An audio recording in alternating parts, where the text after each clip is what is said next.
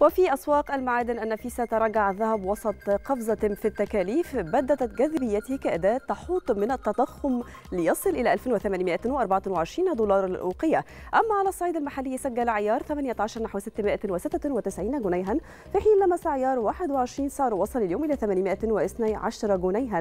وأيضا سجل عيار 24 سعر وصل إلى 928 جنيها. وأخيرا الجنيه الذهب وصل سعره اليوم إلى 6496 جنيها. Amen.